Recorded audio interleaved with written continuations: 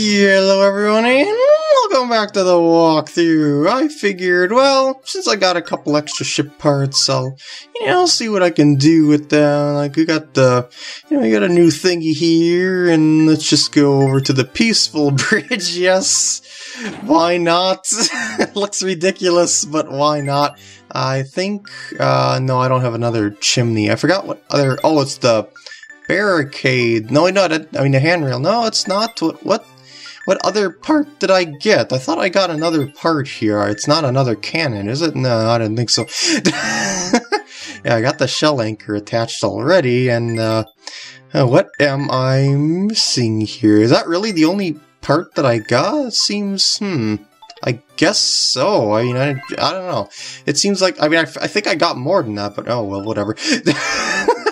it's not really going to help anything, but, well, I just wanted to kind of show what I had thus far, and I thought I had more than that. Um, let's move on. what? Huh? Does your ship have a salvage arm? No, it doesn't. You can make a fortune by recovering lost treasure from the bottom of the sea. Gotta get a salvage arm, though. I bet old Eddo, Eddo on that southern island can help. Yeah, that's about where I'm gonna go. Look where the crab dragged in. get the, got that third sea chart yet? I found the secret mark to be transferred to our southwestern sea chart. If you in the Temple of Courage, we'll open with a sun key. But the new mark on our chart reveals a spot that that's essential to our quest. I see, and since it's a, and seeing is believing, it's time for you to believe in old Linebeck. I say that we go there. We're bound to find something. So off to the unknown Link. Yes, we shall. Woohoo! And cutting through the cutscene. Tap tap tap tap tap tap tap tap. Alright, now, now, let's, I suppose, we'll go over to, yeah, we're gonna about Void Beedle ship there, and go over to the mark right now, just for kicks, just to see what's over there for now, because maybe something changed, you know, that we've passed by before while we shoot over, shoot down seagulls just because. Is Beedle stopped there? Am I gonna run into Beedle and he's gonna ask me to go into the ship? No, I, I don't want to right now, please. I'm just gonna bump you aside and, or I'm just gonna slide along you. Okay, there we go, perfect. No! I guess because I drew a line through the path. Yeah. And we. Alright, we're nearing the mark now. And still doesn't look like there's anything there. Hmm. Hmm. Hmm. Okay, we made it exactly where the crest is, but there's nothing here! Nothing that looks like a crest anyway. Just a bunch of sea. Well, maybe there's something here, but below! At the bottom of the sea. Don't look at me like I'm crazy. Maybe it's down there, under the sea. But I'm not getting wet, kid. I uh, can't even swim. so, uh, remember we heard there's something back over Eddo? Yeah, Eddo is where the cannon was. So now there is a salvage arm that we can pick up to get something something over here. Oh, yes! Oh, no! Oh, yes! I should actually try shooting those just for the fun of it. Maybe get a prize out of them or something. But shooting them is riskier than jumping them. Alright, Cannon Island, we're back.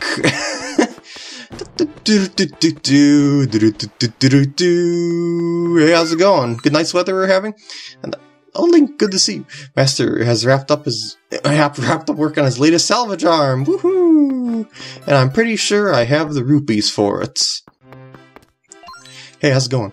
Yes, yes, it's finally complete. The salvage arm will let you reach to the bottom of the sea for sunken treasure. What? Aren't you the shrimplet who bought that cannon for me? And now you want the salvage arm? Did you come racing over here after getting one of my letters? Kinda. I waited a day to record this part. you dropped everything to rush here for my invention. You're a real fan of my work, aren't you? Eh, come on, you don't have to keep it a secret. I want to sell it to one of my fans. you can't just buy your way through life, son. It's passion that counts. So sell me just how much you want that the salvage arm. Shout with gusto, man.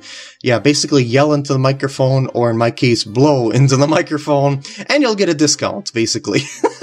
I believe he'll charge a thousand rupees for the weakest volume and 200 rupees for the loudest volume. So yeah, let's just see what we can do here by holding the uh, shoulder button on my controller. Hopefully I'll be able to get a high enough discount with this. I'm loud enough anyway, so I'm pretty sure that you'll be able to tell that I'm loud enough to get this with shouting into the microphone. And how long does this have to be here, man? Can I just release it and and then we'll be okay? I'm re I'm releasing it now. Okay, okay. Well, uh, what? What? Need what? Really, Siri? What? Oh, come on, really? Um, hmm. Am I gonna be able to get this with my current setup? Because this is something pretty important. Okay, here we go, here we go, here we go. Microphone blowing, microphone blowing. I'm holding, holding, holding. I might have to reset something because maybe something lost its configuration when I move stuff around. Hmm. Hmm. Hmm. Hmm. Yeah, it doesn't appear like anything is working here. Uh-oh. Uh-oh. Uh-oh. I'm still holding it. Yeah, this isn't working. Hmm, hold on a sec.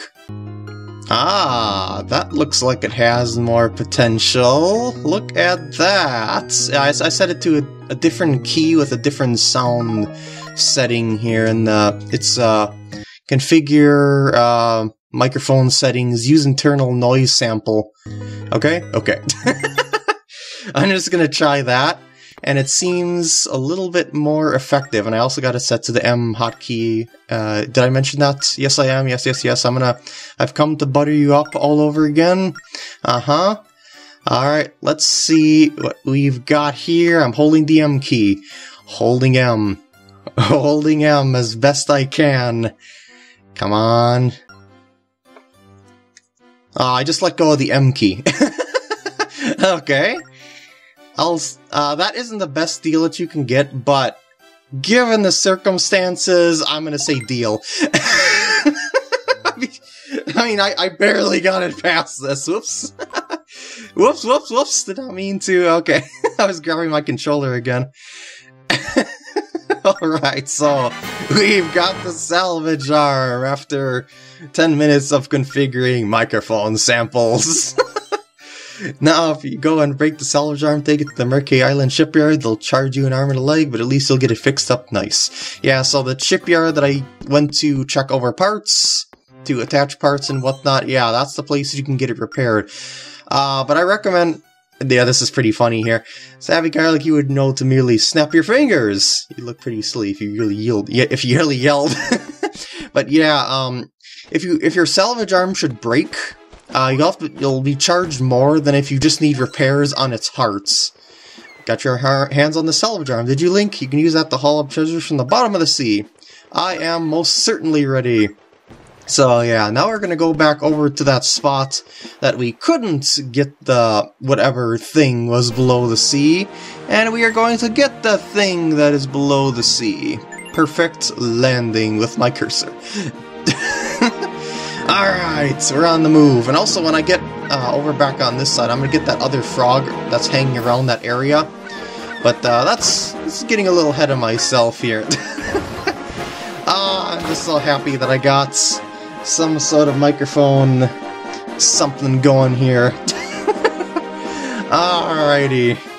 So, so, we have reached the spots.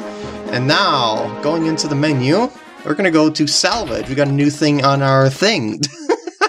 Alright, kid, I'll tell you about how to know how to use the salvage arm. All kinds of treasure rests at the bottom of the sea. Use the salvage arm to pull that treasure up. See the bar controlling the arm at the bottom of the screen? Tap and drag this right or left to move the arm under the water, move it up or down to adjust how fast the arm moves. But there are octomines down there that'll explode if you touch them, and they move in different patterns, so watch carefully. It takes a steady hand to move the arm carefully and steer clear of them. Alright, so I'm just to hold down here, and you can slide it left and right there. You don't really need to see my cursor, do you? I don't think you do. You also be able to get uh, rupees along the way here.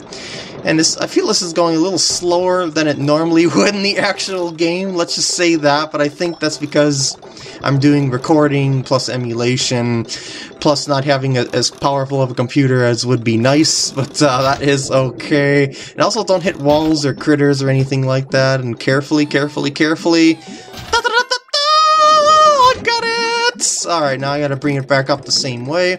Uh, now the critters are basically gonna be there again, but in a different pattern. Oh shoot! I thought I could have avoided that. No! See, my health dropped, but uh, yeah, I, I definitely want to repair that. Well, maybe maybe not until it drops more, but I'd like to repair that before it drops completely and it gets completely broken because I'll be charged less if I just repair that one missing uh, point of my health or or four missing pieces of my health as opposed to all five.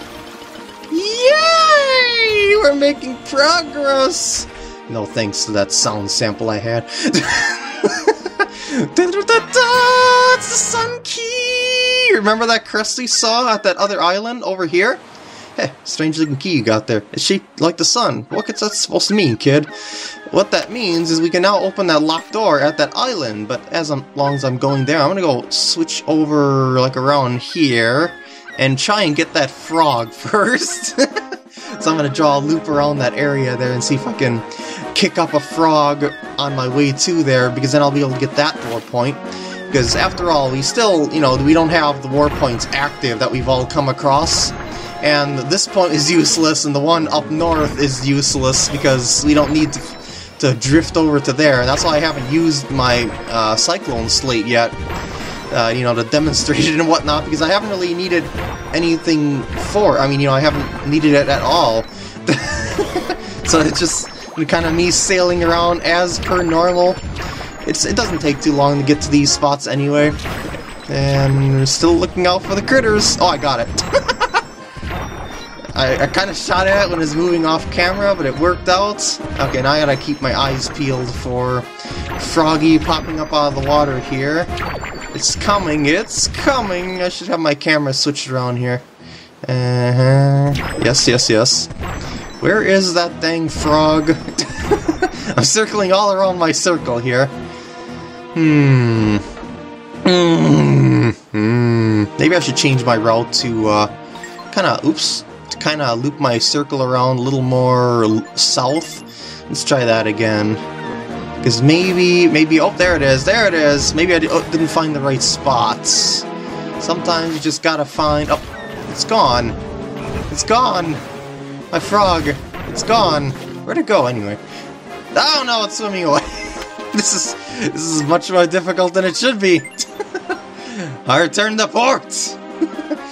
I'm going in the direction that I seen it. I am not leaving without this frog, because this frog is something handy for the future. Come on, get it, get it, get it, get it! Get that freaking frog! I'm gonna go like that. it seems like I have an easier time shooting when I'm going in a straight line. Oh, I got it! Just as it was going into the water. Oh, alright, so what do I need to draw this time? Alright, this symbol. This is a really awkward symbol to draw. And, uh, yeah. It just doesn't always seem to register for me it, because it's so weird to draw and it's kind of hard to draw in itself. So I'm just gonna do this as carefully as possible here. We're just gonna loop around, something like that, and then a line straight down, I guess.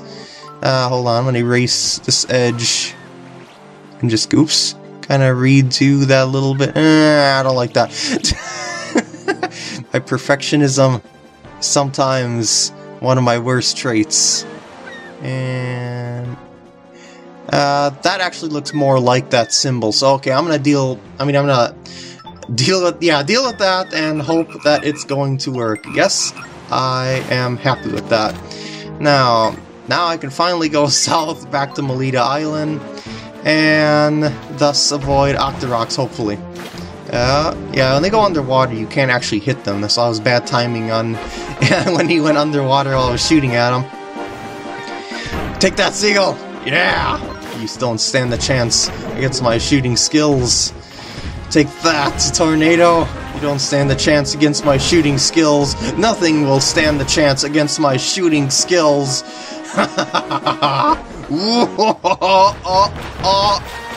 Uh-oh. Uh oh, I think there's something that can stand the chance against my shooting skills! It's the giant eye plant! Yep, a mini boss on our way to the island. That nasty thing is between us and the island, kid.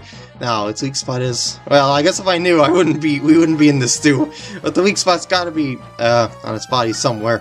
One thing I do know: chart a new course. We stay on the move around it. Don't be a bobbing log. Evade attacks so you watch for its weak spots. And if that thing gets close to any attacks, blast away with the cannon. So alright, so we gotta change our route here. Now what I like to do here is do a, like a figure eight pattern around here. Like something, like a tight figure eight pattern, something like this. So that it's relatively close to him, but that it keeps weaving around its attacks and stays relatively far away from it, even though I'm, I think I'm getting a little too close with that right line, but, well, we'll see how it goes. But the reason why I like the figure eight is because it keeps moving in a, in a relatively uh, short and kind of weavy pattern, and it's rather predictable for the camera movement and stuff like that. Shoot those green things before they hit the, Oh, that one's gonna go over, never mind. So its weakness is the eye, because that's just how Zelda is, that you got... Yeah, the weakness is always the eye for some reason. and yeah, see how much difficulty it has shooting me with this pattern? I don't know why, but that's that's the key here that I found, just to do a nice figure eight pattern and you'll be able to do a pretty nice run on this boss. Probably won't even get hit, actually, unless you get really unlucky with the, uh, the, the, shots, you know, that's coming around there, like he maybe times it and shoots it a little short while you're moving towards it or something like that, but even so, you can block it.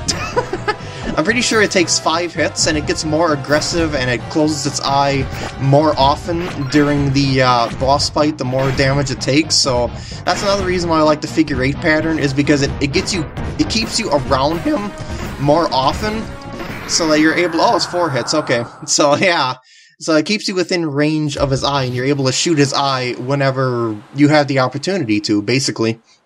And there we go. See, Nothing stand the stands a chance against me and my cannon skills, just as I said. Alright, we've made it. Now, I'm gonna tap that to get it out, because we're gonna need that again. Remember that spot underground? Do you remember? I remember that spot. If you don't... Why did I do that? it's this right here I circled. Now, around this way, remember there was the door that had the sun crest that we drew poorly on the map? Yep, that was our reminder to come back here with the sun key, which opens the door to the next dungeon. And since I've probably only got about 5 minutes of footage due to my microphone issues, I'm going on to solve the next puzzle. so on our way there, we would like to look for these tiki statue type things tribal statue type things, because there's something that we need from them. Say, how's it going? Ashu's home has a storehouse. That storehouse has a tree outside, and its roots hide a buried prize.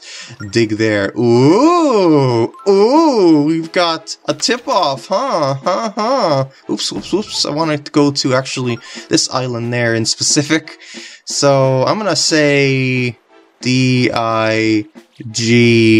T R E E. Holy jeez, that is terrible.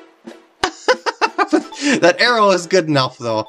Yeah, I was just kind of scribbling along there. So, okay, you're you're gonna do that. Okay, there's one of the the statues right there. And what I'm gonna do here is uh, get my boomerang. Oh, I'm gonna say get my boomerang out and uh, hit it because I just want to activate it. Watch this. Laser appears from that. Yeah, and it points towards the temple up there. Well, yeah, that's the next spot we're going to. And thus, we need to find a way to get in it. Only statues can urge the temple door open, so focus their light gaze on it. Uh, we already got one of three on there, so we're, we're doing so good, good, doing good so far. And oh, oh no, bad, bad crow. Tap that and activate it. And also touch the statue and just kind of waggle it around here. That looks good. And now there's one more over here, but beware! Beware! For there are dangers! I'm gonna try and get them both at once here. Oh, I only got one of two. Ooh! Just want to kill off at least one of two. There you go. Yeah, it's harder to deal with more than one. As I said before when I dealt with this duder before, Oh, oh, I missed completely. That is sad. Oh, no. Get him, get him, get him, get him, yes! Aha! Yeah, take that! And give me rupees, too, as my prize, thank you. they seem to give a good amount of rupees when you kill them all, probably because they're a more difficult than usual enemy. And thus, another statue appears, and thus I think you know what to do. Just turn it around until it faces straight up, watch the map on the top screen, there we go. They cross over, and the door opens in a very fancy way. I like that effect there.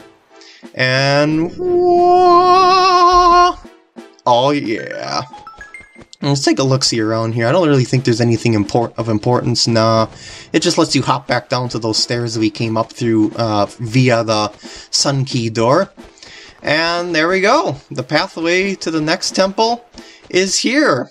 And thus meaning I'm going to start the Temple of Courage in the next part. I hope you enjoy, and I will see you then. So happy that I got the microphone working for that.